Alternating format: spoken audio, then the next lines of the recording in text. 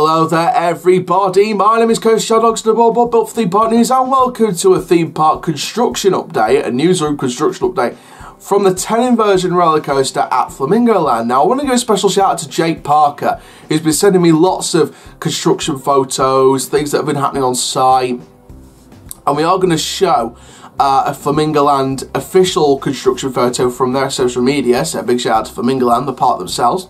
Uh, but before we get started, make sure you like, comment, subscribe, and click the notification bell never miss YouTube video. Share with your friends, family, and on social media. Make sure you get your questions in using hashtag question before or after your question in the comment section down below. We'll be starting on Instagram uh, as well uh, when we get close to 1,500. Uh, so uh, yeah, make sure you stay tuned on Instagram for that. Links in the description. Uh, and now let's get into this construction update. So yeah, big shout out to Jake Parker, who's been sending lots of construction updates. Um, and we have an official missed shot. Now, there's something really specific that I want you guys to spot uh, when seeing this image. So this is from Flamingo on social media, so big shout out to them. Let's put it on your screen now. Fan Dabby Dorsey. Uh, so yeah, the mist shot, by the way, look cool, doesn't it? It looks very cool, doesn't it?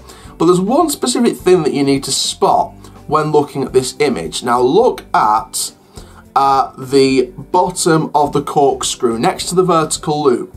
Can you see just a section of the track at the bottom of the image um, sort of painted differently to the rest of the track? You guessed it, it's being painted grey or silver as it looked as it was in the original planning documents.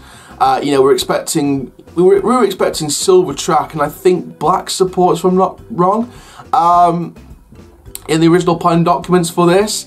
And it looks like they're going on their wish. They're gonna they're gonna paint it up uh, really nicely. So um, yeah, it kind of feels like a bit of an icon colour scheme, like a half icon colour scheme uh, at Blackpool Pleasure Beach. Um, so you know, it, it, it's going to look cool, isn't it? And I think it already looks cool with the mist. I kind of like the original colour scheme, but I think it's going to look even better with the, the silver track and the black supports, or could be black supports, you never know. Uh, it could be all grey, for all we know. Um, obviously, they still haven't released a name for this yet, but I am. I think I'm still putting my money on inversion. But I, I, some people might not like that name inversion, but I think they're going to do something really cool with the logo or the name or just something to do with the ride itself. Uh, maybe give it like a sci-fi futuristic backstory. You know, this is like your your aerial test machine. We call it inversion. Uh, and again, you could you could replace the I and the O with the 10, as in 10 looping. So there's some cool stuff you could do with this. Uh, you, you know, people might not like the name inversion if it is going to be the name, but I think that they can do some really cool stuff with the name that they've got. So, you know, I don't mind either way when it what it's called. I, I really don't mind. I know Flamingo Land's marketing team can do some fantastic stuff. I said this in previous construction updates on this ride.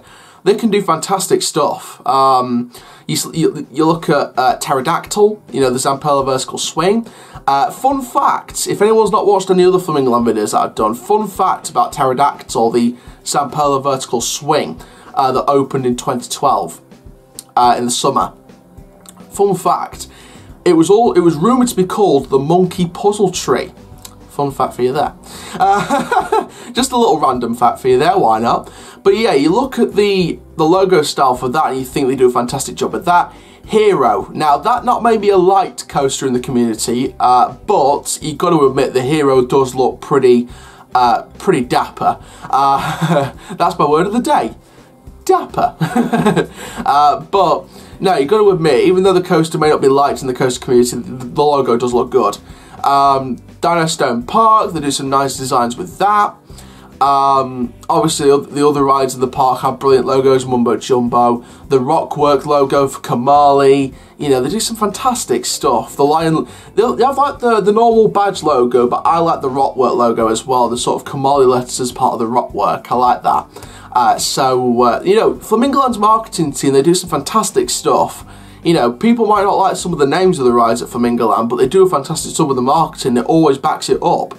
So, you know, even if people don't like the name Inversion, you know, they can do some really cool stuff with it, because I know marketing team at Flamingo Land can do some fantastic things. So, we should all not be worried about this, no matter what the name is or anything like that. We know they're going to come good with it. So, Uh, I think we're probably going to be looking at a May, June opening, maybe. Uh, we could be looking at an April opening. We could, we, literally, could be anything between April and June. It could literally be that, or maybe even July if they want to do a late opening. So, uh, it when it when it opens, if they confirm an opening date, obviously we'll bring another update. But of course, when it opens, I'm really excited about this project.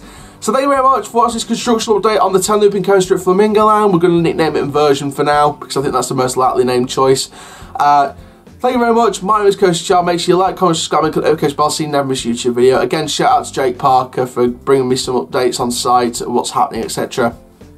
Make sure you uh, please share with your friends, family, and on social media. And for now, guys, keep the coaster alive. Keep your questions in for the Q&A session. And for now, guys, I'll see you guys in the next video very, very soon. Take care. Have an awesome day.